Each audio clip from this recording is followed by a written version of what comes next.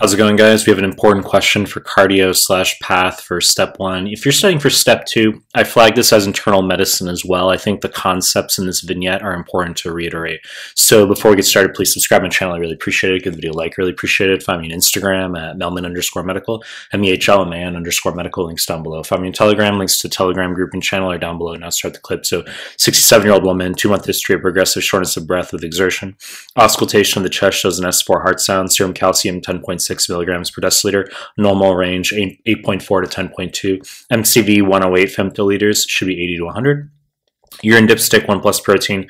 Biopsy of myocardium is shown. You say, no idea what I'm fucking looking at. Okay, I'll explain this as we move through the question. Question wants to know which the following is most likely to be seen as patient. So let's just whip through the answer choices here. We'll go backwards. Choice C, soft P2 heart sound, wrong fucking answer.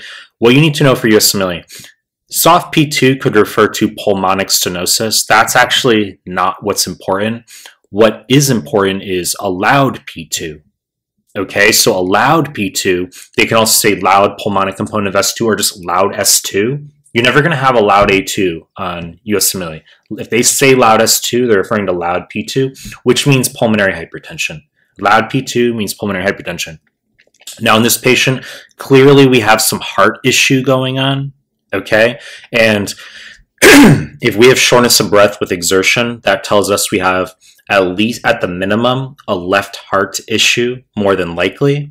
So that would back up to the right heart in theory, and that could cause pulmonary hypertension with a loud P2. Okay. So you're not going to see a soft S2 here. Wrong fucking answer. Choice D, reduced ejection fraction, wrong answer. And the reason you know that's wrong is because we have an S4 heart sound. Okay, this is where I said the internal medicine could overlap, where you need to know an S4, 29 out of 30 questions means diastolic dysfunction, a stiff left ventricle. Occasionally it can be right sided. Okay, you can have a backup all the way to the right ventricle where you have a right side S4 as seen on 2CK material. But most of the time, S4 means a stiff left ventricle. It's diastolic dysfunction. And in diastolic dysfunction, the salient characteristic is that we have preserved ejection fraction. Okay? If we had an S3 heart sound, which is systolic dysfunction, then we would have reduced ejection fraction. Wrong fucking answer. Choice C, osteoblastic metastases on bone scan, wrong answer. You know instantly it's wrong because this is very buzzy for prostate cancer, prostatic adenocarcinoma, okay? Osteoblastic mets they light up on a bone scan. I mean, that is the salient characteristic of prostate cancer. Pretty much every other cancer is going to be lytic. Okay. Some students get pedantic and they say, well, can't like breast be blastic and lytic? Very fucking rare. Okay. And overthinking, get questions wrong. Osteoblastic Mets, prostate cancer. Wrong fucking answer.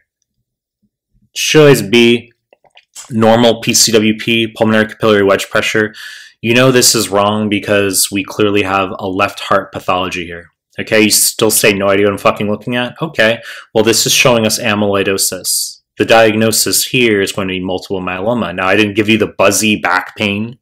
The 1 plus protein in the urine, that's your Bence-Jones proteinuria. Okay, so the pathology of multiple myeloma is you have plasma cells that are secreting immunoglobulins. Multiple myeloma is a cancer of plasma cells, B cells. Plasma cells normally secrete immunoglobulin. That's their function.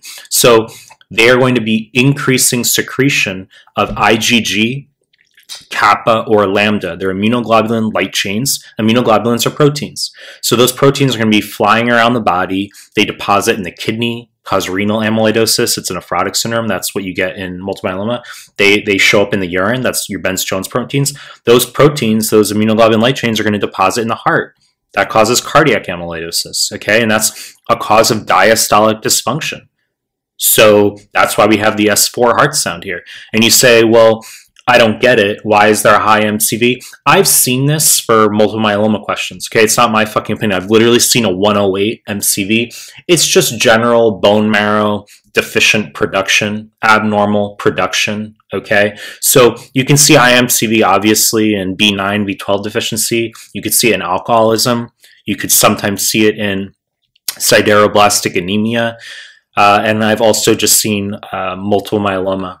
Okay, and it's a long discussion. MGUS as well as smoldering myeloma. You can also get a high MCV. It's not to get fixated on it, but um, abnormal serum globulins. Okay, you're going to do a serum protein electrophoresis, SPEP, as the next best step in diagnosis. That will show us the M protein spike, which is going to be your IgG kappa or lambda, as I just fucking said. And then confirmatory would be bone marrow biopsy showing us greater than 10% plasma cells. You know the deal. I'm going to continue to make more content. If you like my stuff, subscribe my channel. I appreciate your time. That's it.